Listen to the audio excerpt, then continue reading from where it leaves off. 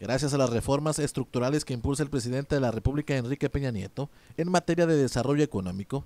el trámite para la conformación de una nueva empresa será cuestión de horas. Lo anterior fue declarado por el diputado federal Esdra Romero Vega, afirmando que las iniciativas en materia de economía enviadas por el jefe del Ejecutivo Federal al Congreso de la Unión tiene como objetivo fundamental acelerar de manera eficaz y sin contratiempos la creación de pequeñas y medianas empresas, participando activamente en el desarrollo económico de México.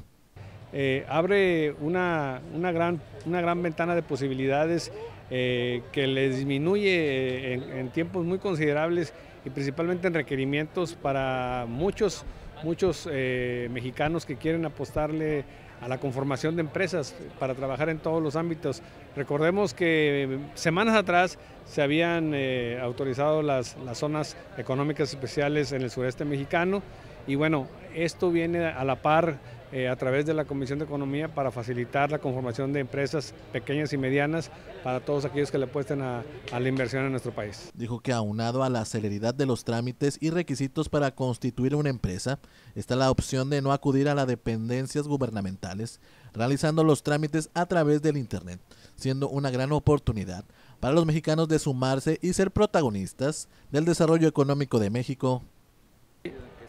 a través de la Comisión de, Economía, eh, la semana pasada se subió a pleno para su, su votación eh, una reforma a, la ley eh, en relación a la, a, la, conformación de las nuevas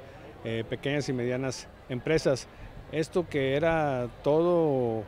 un trastorno para quienes le apuestan a la inversión en México, hoy gracias a esta reforma eh, el trámite para la conformación de una nueva empresa será cuestión de horas, será cuestión de eh, hacerlo a través de Internet y con esto, bueno, se impulsa de manera importante una iniciativa que el Ejecutivo mandó al Congreso de la Unión para que aquellos emprendedores puedan, puedan de manera rápida, de manera eficaz, sin contratiempos, conformar eh, pequeñas y medianas empresas que vengan a participar en el desarrollo económico de nuestro país. En la Cámara Ramón Guadalupe Mar,